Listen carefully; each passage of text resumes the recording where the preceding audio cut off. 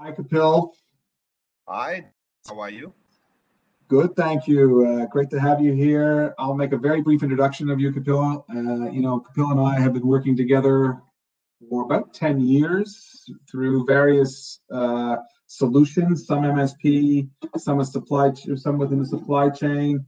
Um, and we're very lucky now to have a very close partnership with Kapil and his team across Asia Pacific in what we call TGC, Guidant Global Collaborative. And Kapil and his team do a lot of great work for us around Asia Pacific region. Kapil is in Bangalore at the moment in lockdown, uh, in a very warm Bangalore. And as you can see, I'm in a very cold southern Australia at the moment. So, Kapil, welcome.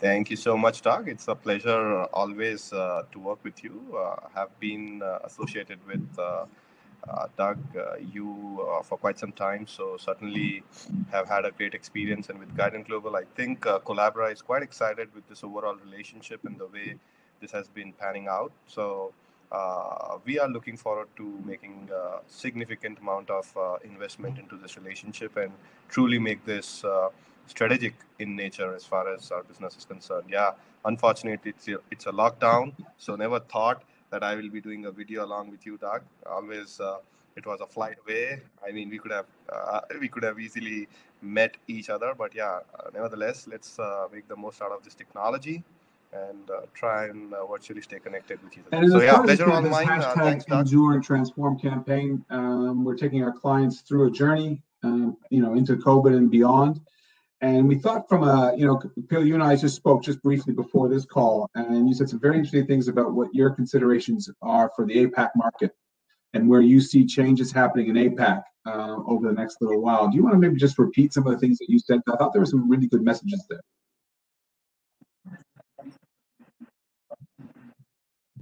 Yeah, sure. So I think uh, it's a. Uh, I used to say it's an interesting situation.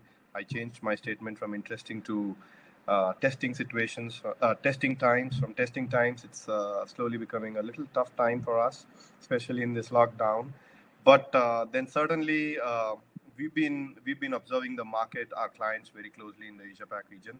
Um, uh, barring Singapore, we see a lot of opportunities coming in countries like India, Philippines, and Malaysia at this point in time. these countries, if you look at it, are largely the outsourcing hubs uh, for for a lot of Western countries as well as uh, uh, developed countries like Japan and Australia. So from that standpoint, these countries, I think, are expecting a V-shaped economy bounce back. So it's sliding down, but we are expecting uh, the pace at which it's sliding down is going to pick up the moment the lockdown is cleared up, uh, the moment this dark cloud of COVID uh, gets settled down. So our our anticipation to the best of our uh, understanding of the marketplace and uh, the COVID situation is that by by June, possibly this is going to slow down a little, and the business is expected to pick up. So from that standpoint, uh, India and Philippines will remain to be the hot destination as far as the outsourcing is concerned, especially when we are looking at uh, the cost uh, saving initiative that most of the Uh, Fortune 500 companies uh, uh, must be contemplating at this point in time.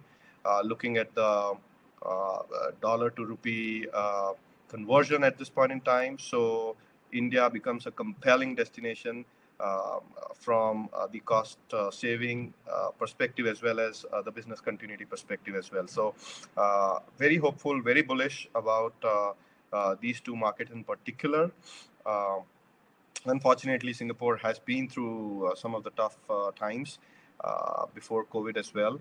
Uh, but due to that, Malaysia becomes again a lucrative destination because uh, it's a shared services hub for a lot of regional headquartered clients. So, from that standpoint, Malaysia will continue to see the upside the moment this COVID situation dies down.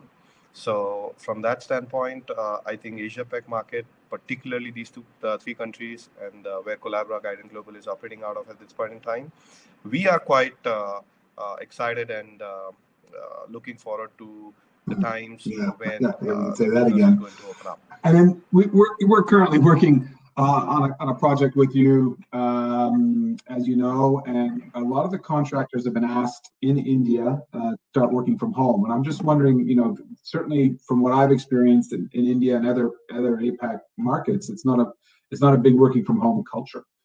Um, do you think as we go through this, and I know we're expecting that curve to come up, but do you think that as we go through this, that that that the working from home through COVID will continue with the contractor base? That we can continue to grow our contractors maybe as we go through COVID working from home?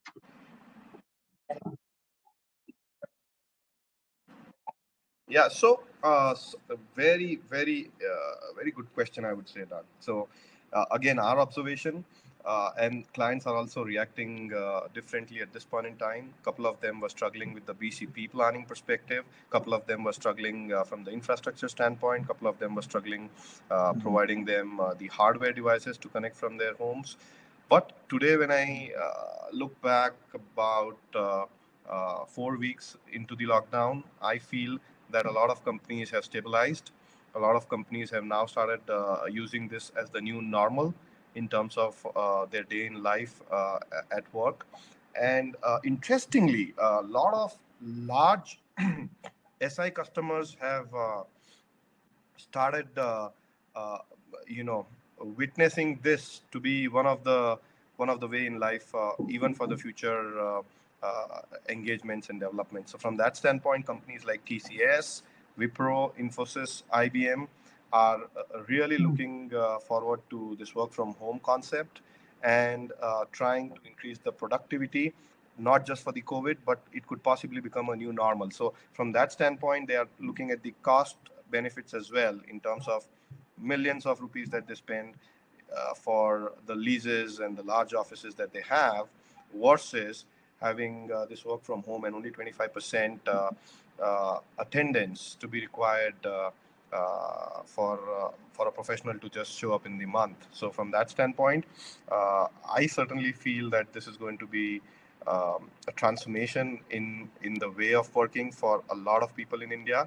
Good part is uh, we had those initial challenges when uh, productivity would take a toss or take a toll when when people were asked to work from home.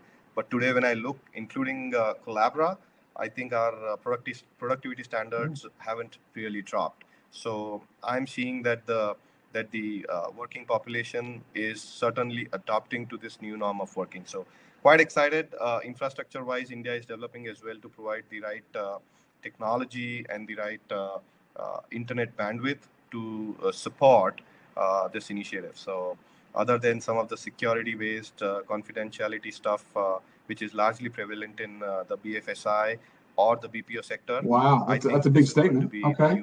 And you mentioned some of the technology. I'm going to put you on the spot. This will be the last question for this series, and we'll we'll come back to you with some more, of course. But um, uh, the technology piece. So, what you, you say you're measuring some of the some of the you know some you know how are you measuring what what technology have you seen in the marketplace that's really uh, you're using possibly more now than you ever have before that's you, you think the clients might you know might be very useful for our clients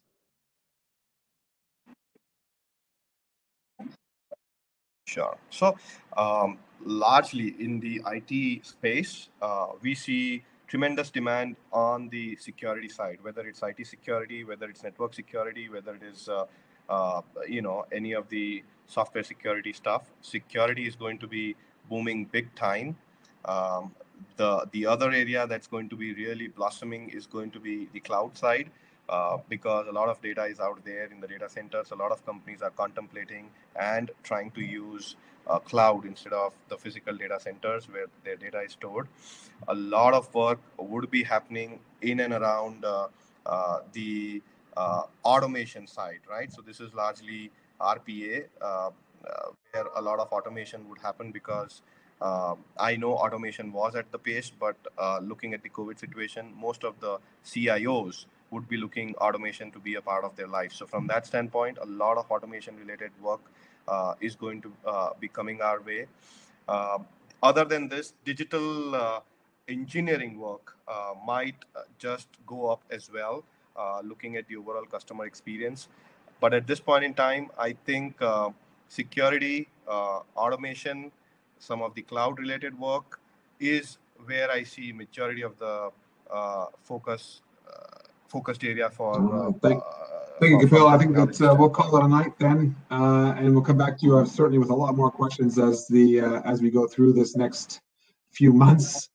Uh, remember, it's hashtag Endure Transform.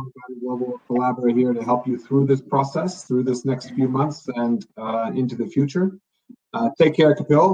Stay safe, and we'll talk to you soon.